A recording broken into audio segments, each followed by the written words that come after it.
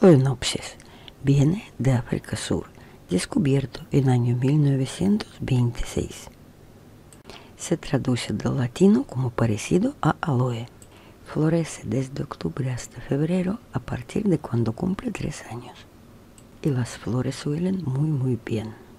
Suelo ideal 70% tierra de cactus, más 10% humus de lombrices, más 20% de cerames. Maceta ideal 7 por 7 centímetros honda. Trasladar una vez en dos años y solo para cambiar la tierra. Tiene las raíces largas. Luz en invierno en plena sol. En el verano mucha luz pero sin sol directo. Riego más vale que se seca que se hunde. Todos los problemas que tiene es por llegar demasiado. Abono una vez por el año en octubre diluido a la mitad. Si lo subes un poco al nivel de la tierra, da más rosetas. Crearlo de las semillas es un proceso lento y complicado, y con esquejes va bastante bien.